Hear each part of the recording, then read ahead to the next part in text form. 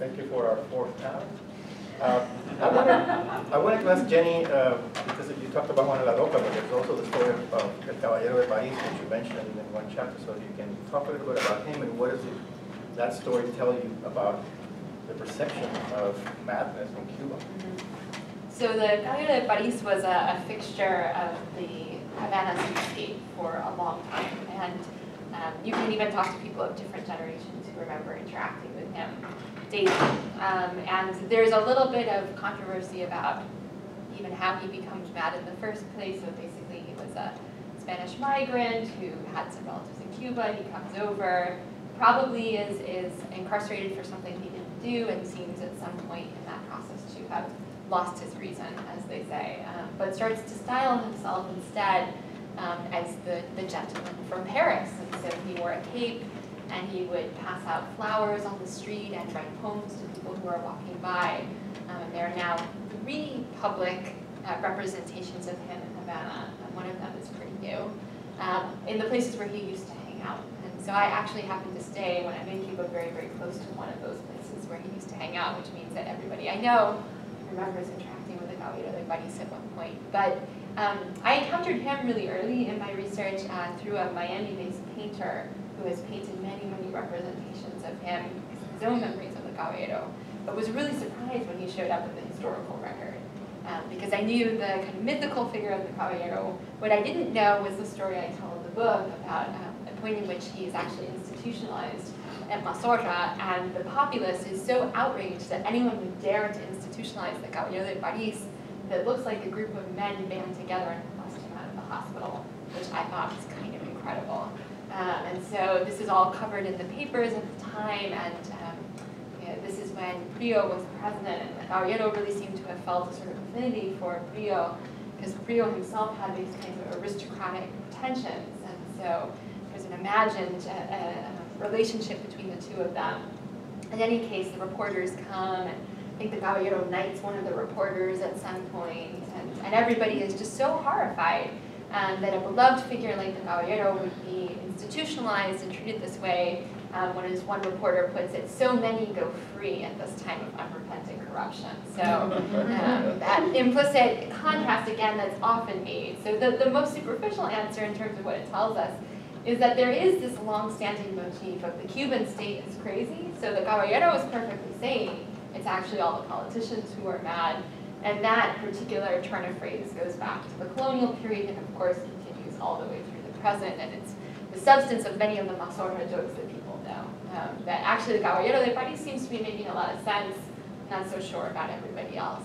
Um, but on the other hand, it really taught me something that I think it was a, a moment of um, you have these a lot in research where you realize that there's a, a, cultural distance between you and a certain historical moment and subject or time or place that you couldn't reckon with necessarily analytically. And um, my reality being that of post-dehospitalization United States, which plays actually a really instrumental role in the fate that Mariel refugees encounter in the United States. That there are no large psychiatric institutions like Mazorra in the United States anymore, that that has a really significant effect not only on the kinds of care that people will encounter, but also in the way that we think about uh, the who are mentally ill, or as Cubans call them, locos, right? The fact that we don't even really have a term in English that combines that tenderness and at the same time, um, you know, you're the, you're the butt of the joke, but we still love you in a way that loco does. And I think I remember walking home to the house where I stayed one day, and a guy was following me and shouting things at me. um, which in Cuba, if it's a piropo, you kind of know how to deal with that, but this person seemed evidently insane. And I was so alarmed, right? Because in the United States, if somebody who's mentally ill is following you and yelling things at you, your natural reaction is to be alarmed. And everyone, when I got home, said, oh, no, no, no, that's just Juan. He's the local in barrio, right? and, and the idea that that character, that um, space, social space could still exist, uh, in spite of all the hardships, right, that everybody encounters, um, for locos pintorescos and, and beloved uh, locos in Cuba, I, I found really powerful. Um, and it told me something about my own maybe limitations, ethical limitations in terms of thinking about the humanity of the mentally ill in a way that I haven't been forced to grapple with before. Any more questions or comments? A comment. Um, I'm really interested, um, and thank you so so much for writing that book because I came to this country when I was 17 years old, but I remember growing up in Cuba, and mazorra is so much part of my culture, and the jokes, and everybody said, you're crazy, I'm gonna send you to mazorra, so it's part of our daily life, so thank you very much. And I also, oh, my name is Cristel Gonzalez, by the way, I'm from TV Marti, I'm here working, but, um, and I wanna add to the study of the historical trauma, I wanna add up, yes, I, I'd experienced that, because I was in Guantanamo Bay in 1994, and yes, once I got to this country, um, I had nightmares for like a period of a year, like a year or two, so of nightmares in the sea with sharks. It was, it was very, very, it got to a point that I didn't want to go to sleep because I knew I was going to have those nightmares. Eventually, they're gone, but yes, I experienced that. And also, um, that loss of um, identity, I don't feel from here, I don't feel from Cuba. I feel like in the middle of something that I haven't found, like a, a way of identifying myself. And even in these 20, 21 years, I still experience that as what if I was able to grow in Cuba with my family? What if it was if it was different? What if if I if I was able to be there with my grandma when she died two years ago? What if, what if? So these are things that are constantly, you know, like on a daily basis that I think of it. And um, of not having my family here, it is traumatic because it's just my mother and my sister. And not having family and, you know, getting caught up on, on, on the daily routine and missing your family and missing that identity. So I'm, I'm really thankful. I didn't know there was a study like that and I, I identify with it a lot. So thank you for sharing that. Eugenio, do you think that exile is psychologically different from migration? Eh, that is the implication, but there's very few uh, empirical studies with statistics to prove that. Eh, the, the difference has been, uh, uh, actually, uh, it's been um, abordado, it's been um, focused from a more psychoanalytic perspective, from a more psychodynamic perspective, because it is very difficult to get uh, empirical samples of exiles. So uh, some of the best writing about exile was done by Leon and Rebecca Grinberg. And they are Jewish. Uh, I think Leon died recently. Uh, they were uh, Argentinian Jewish psychiatrists who immigrated to Spain during the dictatorships of the 1970s in Argentina and then they wrote uh, very eloquently about uh, the difference between exile and uh, you know regular migration uh, because you know and and they talk about metaphors that are you know in the Bible about Lot's wife that Lot's wife looked back and he, she turned into a salt pillar so uh, you know it's this thing about not looking back once you immigrate you have to push ahead and forget your past and so on. And, and exiles are caught in that uh, dilemma where, you know, it wasn't their choice to immigrate, so they're left with the ambivalence of what if, what would my life have been if I wouldn't have been forced uh, to this situation. Uh, Jorge, I wanted to add something. Um, you presented a, a wonderful book uh, that you wrote about Puerto Rico. One of my mentors, uh, Segundo Inver Brugal. He's a uh, psychiatrist. Uh, he's in Orlando now. Uh, his uncle was one of the people who participated in the killing of the dictator Trujillo uh, in the Dominican Republic. And uh, he went into exile, actually into hiding, in rural Puerto Rico in 1961.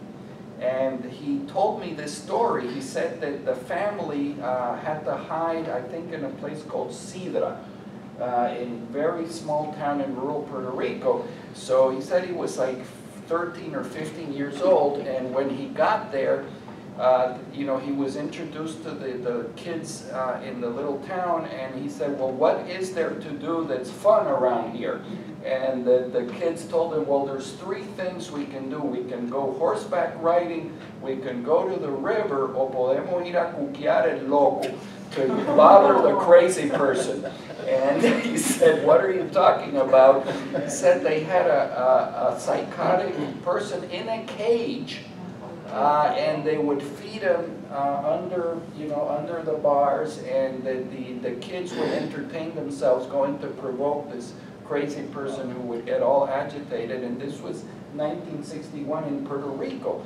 So, uh, you know, I I guess psychiatry is, uh, I guess compared to the rest of medicine, is, is uh, behind the times uh, in a lot of places, continues to be.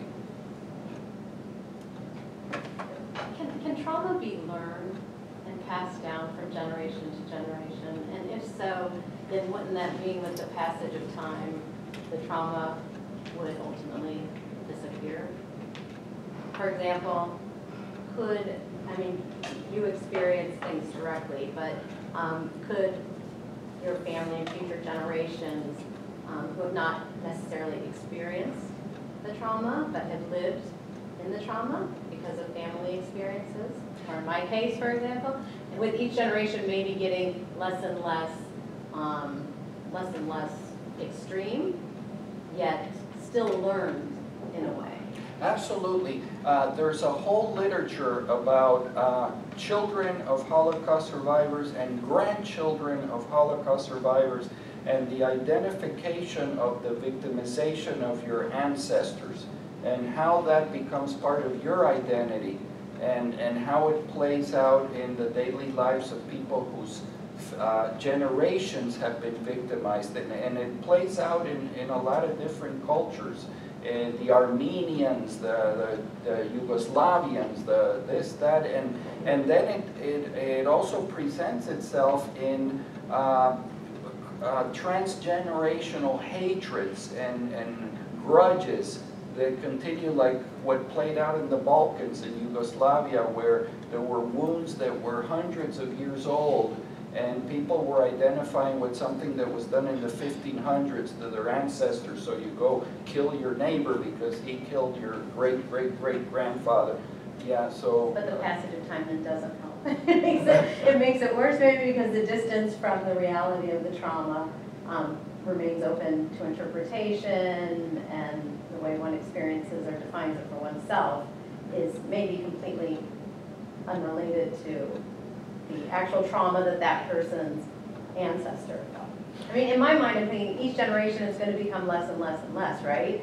We see people's attitudes changing when we ask them all kinds of other questions about opinions um, with regards to Cuba, for example, young people related to the political positions. But the trauma still remains a strong generation. Well, you know, I, my, uh, what, my association to that is how politicians can manipulate old wounds and bring To them back. reinforce. And, you know, wounds that were completely forgotten and reawaken that to mobilize something, usually something bad, not something good. One, one uh, short question for, for Hector. Your description of, of how psychiatrists are formed in Cuba, how does that compare to the, the way they, uh, they're formed here in the US? I, I think, uh, remember, I was talking, I, I've been absent from Cuba almost twenty-five years. I never go back. When I left, I never go back. And, um, you know, the, the, the, the I have back there is not much different at that time. Even, uh, I remember wonderful maestros, real maestros, uh, teachers, you know, professors in every single specialty that I was surgery, uh, you know, OBGYN, dermatologists, wonderful people over there. And uh, I have, a, I think I have a wonderful uh, formation, professional formation. And uh, even in the when you come here with your credits, you have to go to the different, uh, you know, translator and uh, notaries, all these, and they give you the same grade, that you are doctor in medicine and, you know, specialist in this and that, and the only thing that you don't have license is you don't do the, the board. But I think the formation at that time doesn't have nothing different than the here in the United States. Even the, the, you know, the, the degrees are the same, or were the same. I don't know now because, you know, Can I add one last thing? It's interesting, Eugene, what you were mentioning, I, when you said Ukianda uh, Loca, uh, or local, uh, one of the interesting things with, when you speak to a lot of Cubans now, the question of memory, and the question of, of sort of fantasized memory. Uh, because I, I've developed a joke that like memory is significantly fiction. Uh, in, in that with, um, when you, we find that you speak to someone who had someone in the family who was persecuted or who had mental health issues, and they would dance around it and describe it in all sorts of ways. You have to look for words that were or just signs of like, well, but he did, did he, did he say that he heard voices? And think of Cubans in Santeria, and I always, I, I had a call from a lawyer in New York who said, there's a Cuban here who said that he was possessed, and I said, no, that's his faith, not, that, not that he had, not that he's mentally ill, talk to him about something else. And I said, you're in New York, for God's sake, you you should know better. And, and it was interesting because the description of, like, at, you have doctors speaking at a certain level, then you have what I call sort of the knowledge at the, at the cafeteria window, you know, like what everybody's an expert at in the, in, the- among the lay community. Because every, I mean, it's not just Cubans, but every, every Cuban's an expert in medicine, law, and it's an interesting thing because no matter what you say, oh, no, no, you were talking about tranquilizers? My God, and it's like just, oh, no, no, don't worry, I have a cousin who had one for you. You have a cold, no, no, it's because you're nervous, have a pill. And so different cultural levels, the experts like you all, lawyers who know very little, and then sort of everybody else in the layer of society that has a story that describes kind of it doesn't fully describe the reality of the mental health problems that I think really existed. And we're not really, it, it, it- it- we have a major problem in describing human rights cases because sometimes you, people don't want to sort of admit certain things that were reality uh, back in whatever time, 60s, 80s, 70s. Um, And so we- we've had a problem. I mean, and you remember you wrote about Maria significantly. Um, And the stories that we get now, you go, but that's physically impossible what you're describing, it's not real. And it's interesting of how people retell their stories. Thank you all. Uh, Yes, go ahead. If I may, you know, I wanted to take this opportunity, I'm sorry, Olga, to bring you in. It's okay. And my, my very good friend Olga Cormier, who I never see, uh, her grandfather was a psychiatrist who came to this country and got to experience the last uh, phase of something similar to Mazorra, which was the psychiatric therapeutic communities, where the family of the, the psychiatrist and his family lived in the psychiatric institutions. I, I don't know if you would like to talk about Well, as it turns out, my mom is here, and she also worked at Mazorra um, when she was very young.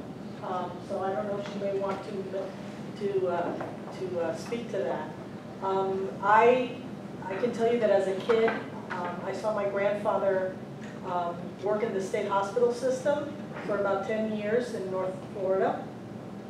He then came, uh, when he retired from there, he came to Miami and started his practice in Miami and worked there for another few years. So I- we saw quite a range of interesting phenomena. I worked in his office with him, um, and there was quite a lot of interesting things that, that, that we saw. Um, Do you have anything to add, Mo? Well, I, I couldn't hear what he was talking about. No, I he talked about Mazorra. But you know, since I was a little kid, my father used to take me to Mazorra. You know, because he worked in children's unit. Was the director of the children's unit. And he was a very good friend of Dr. Juan Castillo. He was the director of Mazorra at that time. And even though his son, there was two very good psychiatrists later on. You know, they they ride in the bicycle and the, you know, the motorcycle around Mazorra. For me, it was amazing to see of the patients that they were there. They were Chinese, they were there. That he lived in the bottom of the house. And he has a, he played music with guns. For me, it was not, something very, very marvelous because my father let me go there and see, you know, but then later on, when I started studying psychology in Villanueva, you know, I started practicing in Mazorra, you know. But they, then, later, they invited me to work there, but I prefer to work in the only hospital. There was a hospital that was for the people that were, you know, they have physical problems. And I work there with children, because that's what I like, And I and you know, now, until I came here in sixty-one, and then I go for here. Then I work here in South Florida, and my father, my father was in McLean, I work here in Hollywood as a psychologist. In the South Florida State Hospital system as well. Yes. And then I was later in the disability office, you know, and I was part of the state too. And my office, I have my own office, and I also at the University of San Thomas. I teach uh, adolescent psychology and neuropsychological, you know, neuropsychology.